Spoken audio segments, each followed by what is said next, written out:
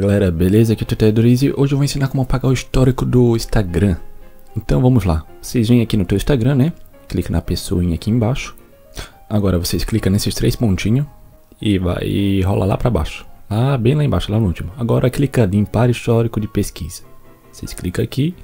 Sim, eu tenho certeza. Pronto, ele está limpo. E já aproveita, me segue no Instagram que tá na descrição do vídeo. Deixa o teu comentário no vídeo. Deixe seu like, favorito, inscreva-se no canal. Até o próximo vídeo. Valeu e fui.